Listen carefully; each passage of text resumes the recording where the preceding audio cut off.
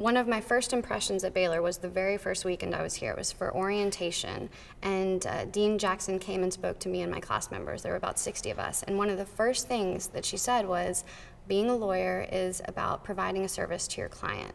And that's exactly what I wanted to do. I heard it was really difficult, and it is, but it uh, has completely lived up to its reputation of preparing you to actually be a practicing lawyer.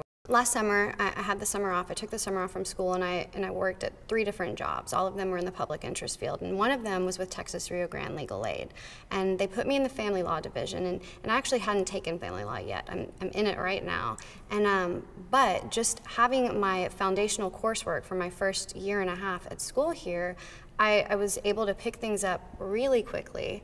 Um, I learned, I mean, part of what I learned in the first year was, was how to how to research, write, things of that nature, and so um, it actually wasn't as big as an, of an obstacle as I was expecting it to be. The Equal Justice Scholarship is a scholarship that's given out every year. Um, it can be given to an, an, incoming student or to a student who's already been enrolled.